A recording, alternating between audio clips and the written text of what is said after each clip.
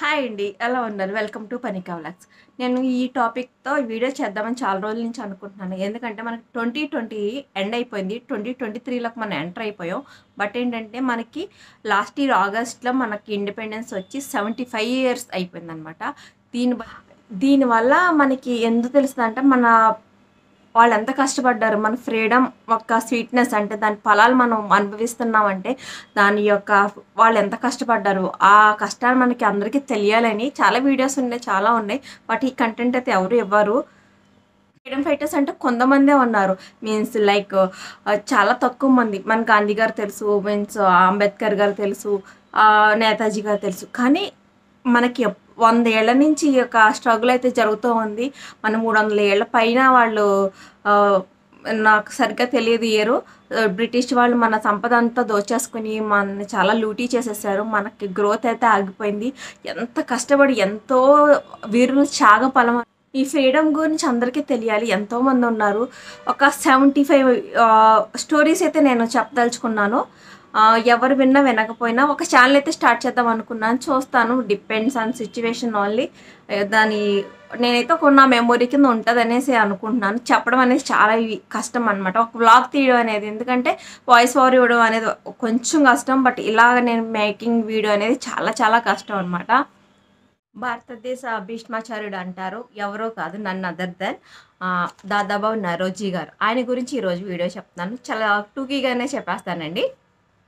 భారత ప్రజల ఆక్రందనలు బ్రిటిష్ గవర్నమెంట్కి తెలిస్తేనే బ్రిటిష్ గవర్నమెంట్లో చేంజ్ వస్తుందని ఆయన చెప్పారు. ఆయన అక్కడే ఒకటి చెప్పాను కదా అని పోటీ చేశారని. మనకి కాంగ్రెస్ ఉంది కదా ఇండియన్ కాంగ్రెస్. అది డెవలప్ ఎవరు స్థాపించారు తెలుసా? హ్యూమ్ అనే ఒక ఇంగ్లాండ్ ఆయన ఇండియన్ కాం- కాంగ్రెస్ మీన్స్ ఏర్పడడానికి కారణం హ్యూమ్ అనే దొర అనమాట ఇన్స్ బ్రిటిషర్ ఆయన నా- నేతృత్వంలో దాదాబాబు నవరోజీ గారి పాత్ర చాలా ప్రశంసనీయమైనది. ఆయన ఇండియన్స్ కలకత్తాలో జరిగిన సభలో కాంగ్రెస్కి అధ్యక్షుడి కింద ఎన్ని ఎన్నికయ్యారు.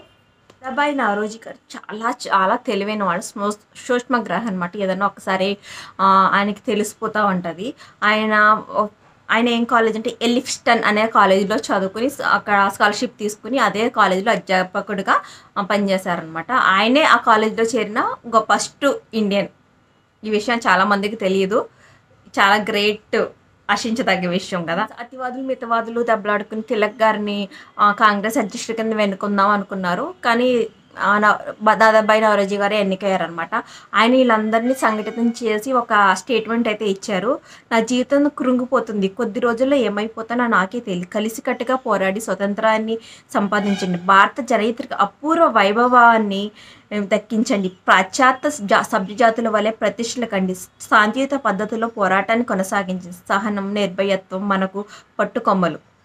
ఇది దేశ ప్రజలకు ఇదే నా సందేశం. ఇది నేను కంటిన్యూస్గా చదివాను. ఎందుకంటే ఒక్కొక్కళ్ళు ఒక్కొక్క సెంటెన్స్ ఒక్కొక్క మనకి ఒక మెసేజ్ అయితే ఇచ్చారు. అది చాలా మందికి తెలియదు. జీరో టూలో ఈయన ఒక బుక్ రాశారు. అదేంటంటే poverty and unbelieve un British rule in India in eighteen eighty టూలో భారతదేశానికి వచ్చిన కమిషన్కి ఎడ్యుకేషన్ కమిషన్కి ఒక నివేదనకి అయితే ఇందిచ్చారు. ఈయన యువతరాన్ని ఎంతో ముందుకు రావాలని ఎంతో కోరుకున్నారు. ఎందుకంటే మన భాషలు వేరైనా మతాలు వేరైనా ఈ గా ఈ గడ్డ మీద పుట్టిన వాళ్ళందరూను స్వతంత్రం కోసం సం మీన్స్ ఒక కలిసి కట్టుగా పోరాడాలని అందరికీ ఆయన ఉపదేశించారు.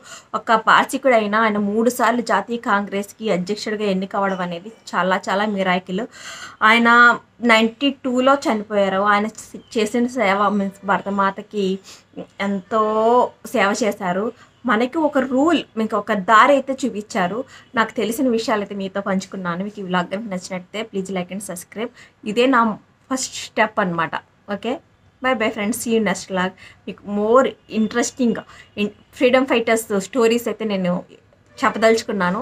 చూసినా చూడకపోయినా నో ప్రాబ్లం అండి. నాకు ఏమీ మనీ రాదు. నాకు ఒక ఇంట్రెస్ట్ ఉంటుంది. ఆ ఇంట్రెస్ట్ నేను డెఫినెట్గా ఫిల్ఫిల్ చేసుకుంటాను.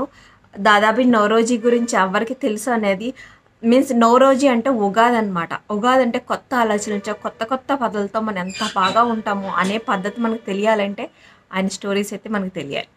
Okay bye bye